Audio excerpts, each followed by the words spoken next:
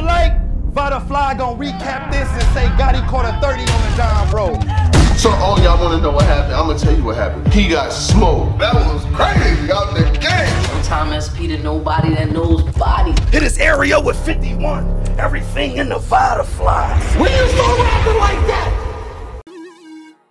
Alright.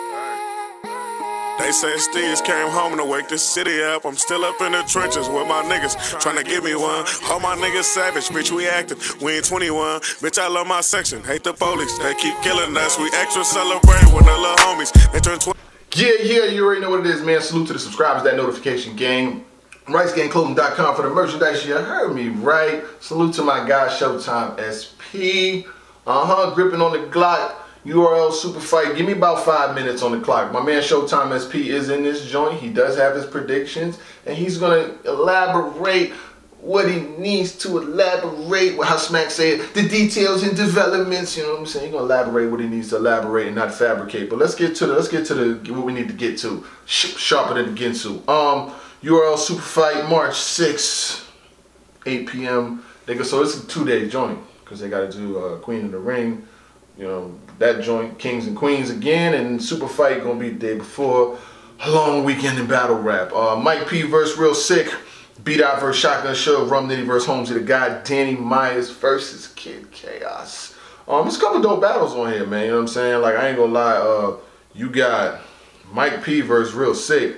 That's gonna be a war. B Dot versus Shotgun Suge. War. Rum Nitty versus Holmzie the God. That's not bad. And Danny Myers versus Kid Chaos. Let's start off with Rum Nitty versus Holmzie the God. Uh, Holmzie, you just had a battle with B Dot. Everybody knows what happens. Y'all want to know what happened. He got smoked. Um, and now he's battling against Rum Nitty. Rum Nitty is, I don't know what's going on. Rum Nitty, like, he came back. He took Don Marino. Now he's taking Holmzie. Are they making this nigga start from the bottom? Like, whoa, whoa, whoa. he was at a, a level where he was battling the big names on the big stages.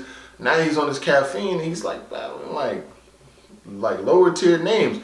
Holmzie gonna have to throw the house at Rum Nitty because going into this battle, ain't nobody gonna pick you. Maybe some niggas in the Loud Boys, but ain't many gonna people gonna pick you winning. Uh, most are gonna have Rum Nitty 3-0.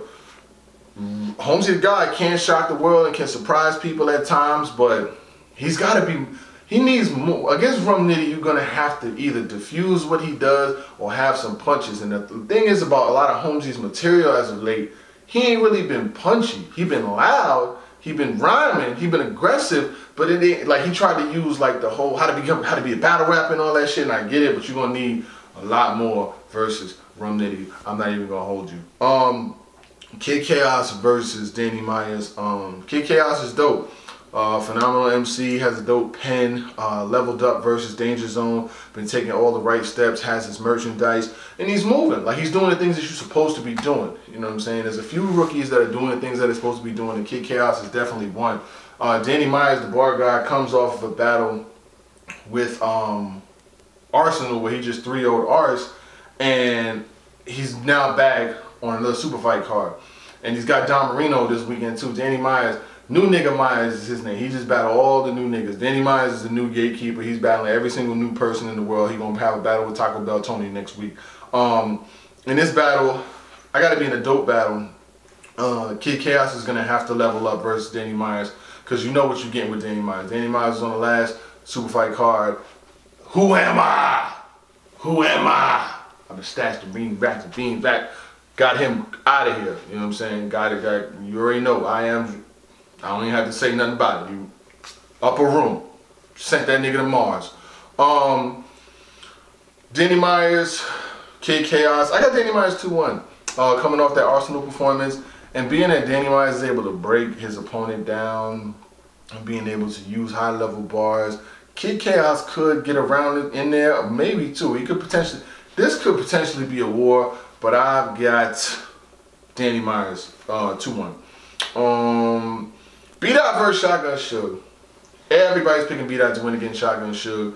Uh, you know, Shotgun Suge was on this whole pen thing. He wanted the pens, wanted the pens, wanted the pens. He got the pins and it all depends on how it depends. You know what I'm saying? Like, it, it really. He got the pins. He had a couple cool ones, but no real clear smoke. He didn't smoke any of the pins. Um, he's a big stage artist. Um, but he's been battling in these small rooms because you know the whole COVID shit. And uh, B Dot has all the intangibles. He can rap in the small rooms. He's angry off of his performance versus Chilla where he didn't win, and now he's going against uh, Shotgun Suge. Everybody, see the thing is, this could potentially be a trap game for B Dot because everybody's got you picked to win. So when everybody's got you picked to win, you kind of gotta win, and B Dot should win. But Shotgun Suge has surprised people before. He battled Mike P in a small room. Uh, he battled Rum Nitty in a small room. Uh, he battled. So we're not gonna act like he don't got the experience, but going into it, I'm going B dot two one closer than some of you may think though. I know a lot of y'all like, oh, he's getting smoked 3-0 and shit like that. But Shotgun Suge has been very adamant about what happens when I win. What happens when I win? Oh, ex excuse me. You gonna win? Oh, you're gonna win? Oh, okay. I didn't know you was gonna win. You you must know something that I don't know. And if you do, we'll jump right back in front of these cameras and give you a win, give you admiration, props, and all of that because that's what you deserve. But going into it, uh, B Dot wants to uh, get his shit back from from from last year. Last but not least, uh, main event: Mike P versus Real Sick. We haven't seen Mike P since the Bill Collector battle, and most notably that before Ryder battle. Um, you know, dope pen he's able to take it to different levels, and we're gonna see where it goes. Uh, a lot of people had it being battle of the night. Real Sick interjected and said body of the night. Real Sick is gonna really try to make an example out of Mike P. Um, out of any battle on this card, this is a battle that Mike P needs to win. Needs to win because Real Sick could really do a lot for his catalog with this battle. Um, honestly, I got the battle debatable. I think the battle's gonna come down to the third round. Um, I got them split in the first two rounds, and the third is going to be a debatable. Um, I, I, that's how I call it. You know what I'm saying? I just got the battle being debatable. I know Mike P could take it to different levels and shit like that. And Real Sick is really, really nice with that pen. Like presence, pen, accuracy, bars, all that and all of that. I, I, it's just one of those. It's a toss up for me. You know what I'm saying? I don't have a clear, definitive winner, but we will have one on um, March 7th. So grab your weapon. Showtime. Take me away. You thought you was just gonna do this without me? You thought you, you, you thought that you was just gonna see his prediction and then not mine? Or you thought that you wasn't gonna see me? You, you what you thought? What you what you y'all keep y'all keep debating on whether this ain't gonna work. Well let me tell you niggas something. It's working. It's working. I'm having the time of my life right now. You know what I'm saying? They had to take the earrings away from me because apparently I gotta keep sharp sharp objects away from me, so I'll just leave that at that. What's good, y'all? It's your boy Showtime SP to nobody that knows bodies. Pow! What's good, body? How you, bro? You good? You living? You living? I see you. I see you. you I see you. I see you. You know what I'm saying? I like your digs. I like all of that. You know what I'm saying? You feel me? But I'm here to talk about the super fight, the two-day event. But I'm only here to talk about the one card. We're going to copy and paste the Watch the Throne, and we're going to throw it right there. But we are here to talk about Super Fight 2, or the URL surprise card, or the out of nowhere card, or I have no idea what they're calling this card, because all I saw was literally the names of the bat. You know what I'm saying? So, where's the trailers at? We won't get no trailers no more. Is it is it is it is because of that? Is it because of the whole quarantine thing? Niggas can't just shoot trailers and shit like that. That's that's what's up. That's fine. I'm cool with that. I, I'll allow it. But I got to use what I got, and I'm gonna use all of the information that has been presented in front of me, and I'm gonna tell y'all who I think is going to win. I'm also gonna tell you how these battles may be flick, roll, smoke, or fire. That's how I get down we're gonna start it off with the uh the uh the battle that was supposed to happen um uh, uh the last event on volume seven and it didn't so we're gonna talk about B Dot versus Suge. B Dot versus Suge is still that battle that I, I, I really want I, I want to see it now. I wasn't motivated to see it on that volume seven card, but to me I feel as though that this battle is going to be a lot more built up. I think it's going to be a lot more polished. I also feel like this battle it has went from flick to roll. I'm gonna just roll with it because of the fact that I think that the preparation time has been been pushed back another three weeks or four weeks or a month So I believe that the preparation should be there for both. But I still got B Dot winning the battle. I still got B Dot 2-1. Um, Suge still got a lot to prove. It's not like he has a lot to prove to y'all or to us. He just got a lot to prove that he wants to prove to himself. He says that he wants to go up against the high pins and B Dot is one of those pins that are of the elite. What does what does it ha what happens if Suge beats B Dot? Suge just gets another name that is a, of a of a higher quality pin than B Dot. But there isn't that many people that's left out there for Shotgun Suge. So Shotgun Suge is kind of at that catch 22. But it's going to be good to see Suge 92 pounds, uh, about to say he's 92 pounds away from his goal. So it's going to be good to see Skinny Suge again. So it's kind of a, a return of Suge, but not really the return of Suge because the last time we saw Suge was versus Brooklyn Hands. So I hope we get a full three rounds. Another thing that's going to come into play is the time limit. Suge always gives you just enough time. B Dot is going to go over that time. So I, I clearly, I'm, I'm going to have B Dot winning this battle. He's going to have more substance. He's going to have a lot more time on it. And not to mention, he's only been tweaking it. So I got B Dot beating Suge 2 1. Next battle up on the card that I want to talk about. I think I need to talk about it. It's obvious. This battle to me is just going to be roll as well. And it's going to be Holmzie the God versus Rum Nitty. Now, Holmzie um, has definitely proved himself to be getting the names. I mean, for goodness sake, he already won. He, he's already the Ultimate Madness uh, uh, two winner. So he got that back. He the hunger, the hunger that he's brought to the table against those other guys. And and not to mention he had to take it light on his brother, uh, Bill Collector, and he still gave us some good potential. But let's not act like we don't remember Holmzie the God versus B Dot, okay? B Dot, I mean, uh, B Dot smoked Holmzie, smoked him.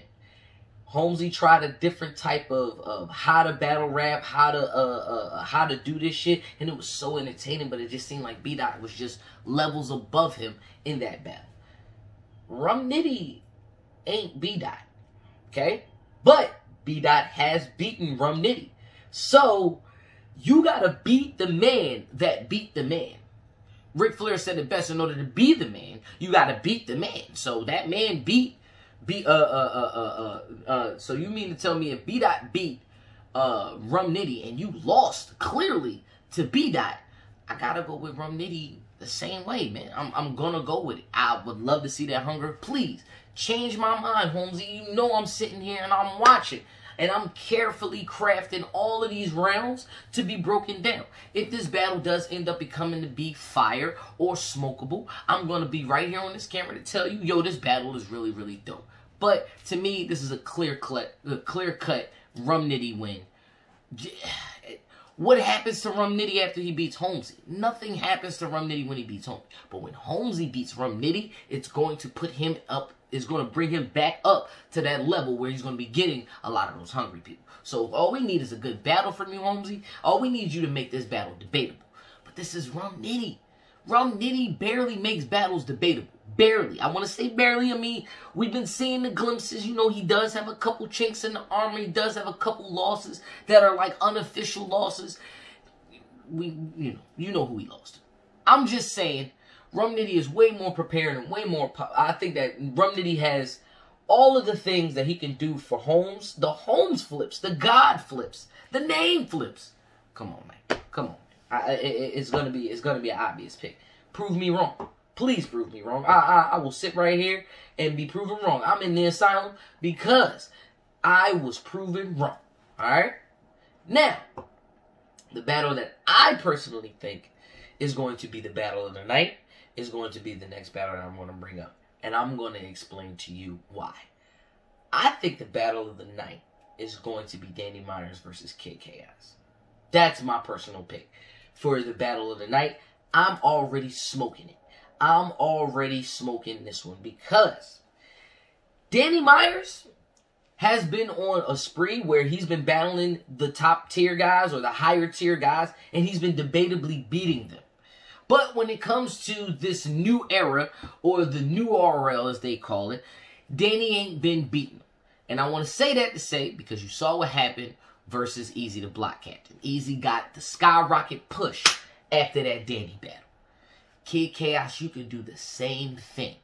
and literally push yourself up to the stratosphere. Here is the you can do the same thing and literally push yourself up to the stratosphere.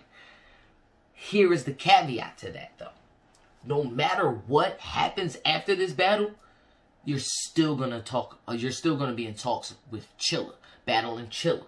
Battle and Chilla. It needs to be Kid Chaos and Chilla. Here's the crazy part. Chilla lost to Danny Myers on RBE. And it was a judge battle. So what we doing here? What what are we doing here? You have to make this battle clear cut. Uh, uh, Kid Chaos has a lot to prove because of the fact that he's done a lot of the, uh, the, the, the, he makes a battle rapper really like, really gotta evaluate himself. You know what I'm saying? Like, because of the way that Kid Chaos writes and the status, with Danger Zone, that writing style was wonderful. It was amazing. Not to mention, you have peaked. I remember shit like that. With Saga, same thing. Come on, dog. It's it's the bro. It's the way you put shit together is the reason why a lot of us uh uh uh, uh, gravitate to Chaos and we love that pen. Or I don't want to say we. I'ma say me. I love that type of writing because not only is it direct, this was carefully crafted for you. Not only did I carefully craft these bars for you, I'm not just reading them. I'm going to act them out. I'm going to do all of the motions. And not to mention, you need to look at yourself, Daniel. And I like the way that Kid Chaos writes that way. But Danny can do it too. Danny don't have to break you down. Danny can do a lot of kid flips. He can do a lot of chaos flips. He can do a lot of drug references. He can do a lot of stuff where you, just because you was locked, don't mean that I don't know niggas that was locked. Danny has a lot to offer in this battle. This battle has the potential to be fire because neither one of these niggas can lose. If Kid Chaos loses this battle, he gets pushed back down, and then therefore, oh, he ain't gonna be as good as Eazy. He ain't gonna be good as Real Sick. Because those are the guys who have literally made a lot of the vets bleed. A lot of the vets bleed. That's what Eazy has done. Kid Chaos is along the same lines. He's made a lot of these vets bleed. He's 30 vets, but the vets that were the vets don't have the higher stature name. And that's no disrespect to the Saga, but we understand Saga was on that downhill. He was on that decline. Are we going to give excuses to the Saga? Are we going to uplift uh, Kid Chaos? I'm uplifting Kid Chaos. Thing about Danny Myers is Danny Myers can lose battles and he still gets booked because he's going to take whoever's offered in front of him. And if he loses this battle, he's going to smoke the next nigga. Danny, don't stay down. This battle has the potential to be fire. I'm praying it's fire. I'm praying it's fire. But I got to go with the vets, and I'm going to say I got t- Danny 2 1. I'm going to say Danny 2 1 on this one. A lot of people are saying 30s. That's fine. But all I'm saying is that this battle has the potential to even be so good because of the writing styles of both of the uh, uh, uh, combatants. Last battle, and it's the top battle, and it's actually the most voted going to be the battle of the night. Me personally, I kind of got a different of opinion, a difference of opinion.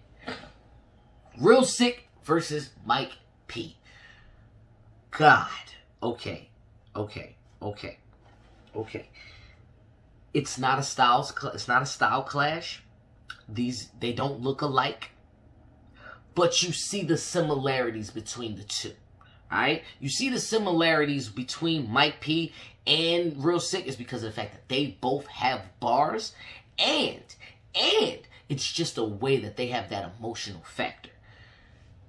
Real Sick is more intimidating because he mad, you know, that Real Sick is not a small dude. This dude look like he he be doing reps before he go out on the, on before he go to battle. He do like 35 to a thousand push-ups before. Depending on how far the battle is on the card, he gonna be doing push-ups until then. His arm is gonna be linguine noodles. But that nigga gonna look brolic as fuck standing in front of Mike P. But we ain't heard from Mike P since Bill Collector. Correct me if I'm wrong, but that battle, Bill Collector got Mike P up out of here.